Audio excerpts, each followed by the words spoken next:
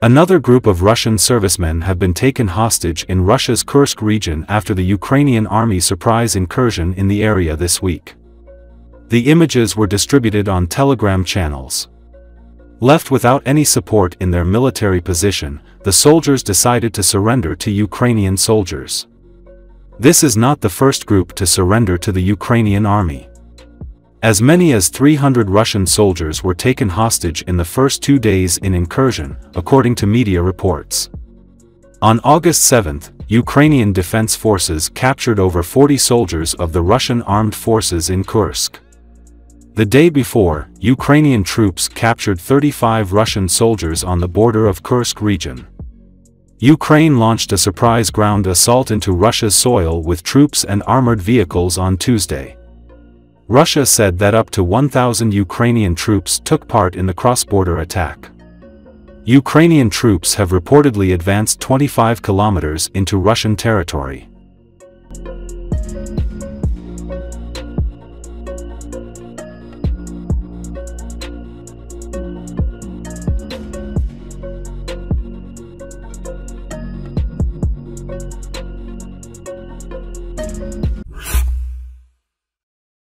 The head of the Russian General Staff, Valery Gerasimov, was informed in advance by intelligence about Ukraine's preparations for a ground offensive in the Kursk region, but ignored these warnings.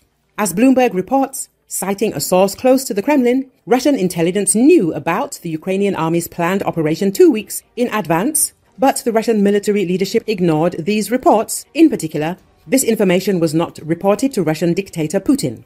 The agency's source notes that Putin will most likely not decide to fire Gerasimov despite the large-scale cleansing in the Russian Defense Ministry, but the dictator's patience with the general is already running out. The day before, Gerasimov reported to Putin that the advance of the Ukrainian army in the Kursk region had allegedly been stopped and promised to reach the borders of the Russian Federation, but since then, the situation of the Russians in the region has only worsened. The Ukrainian armed forces continued their offensive and occupied several more settlements. At the moment, the Ukrainian military controls an area of more than 400 square kilometers. In addition, they managed to capture several dozen Russian soldiers. Analysts note that the Ukrainian offensive took the Russian army generals by surprise. The Russian troops were poorly prepared and in the first stages of the operation offered virtually no resistance to the Ukrainian armed forces. Sergei Zhirnov, former intelligence officer of Russia, called the rapidly developing events in the Kursk region dangerous, realizing the recklessness of Putin, who has nothing left to lose. Out of desperation, the Russian dictator may even strike the Kursk nuclear power plant since he does not care about the consequences. The former intelligence officer recalled the statements of Russian propaganda during the war. The Russian side has been talking about the Ukrainian side preparing terrorist attacks at the Kursk NPP for three years now. This is a narrative where we even suspected that Russia itself wanted to arrange some kind of incident at the Kursk nuclear power plant and then blame it on the Ukrainians and thus gain the opportunity to use tactical nuclear weapons because it turns out that such an incident would untie the nuclear hands of the Russian Federation.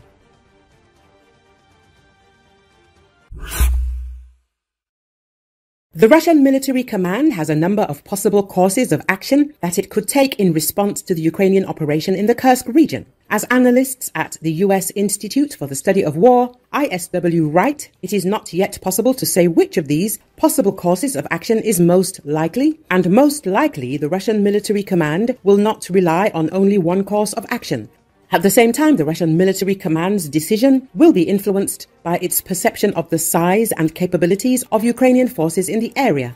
Option 1.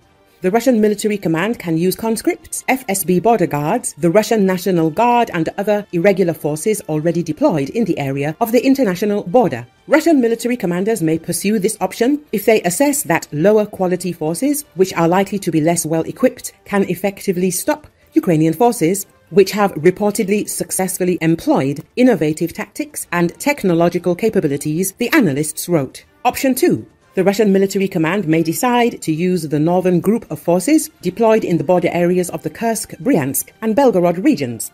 The same time, Analysts write the ability of the Northern Group to conduct effective defensive operations and significant counterattacks is unclear, and its redeployment to push back Ukrainian forces in the Kursk region will create vulnerabilities in Russian defenses on other parts of the border.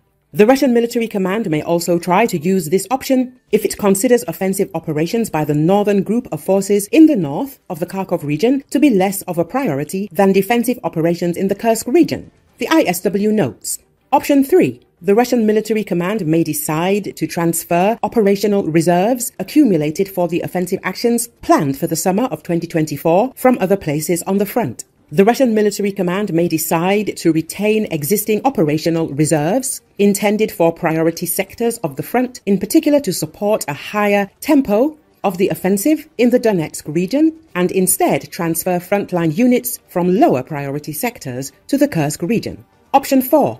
The Russian military command may attempt to preserve the forces it currently has deployed to the Kursk region, but at the same time transfer significant air and strike units to the area.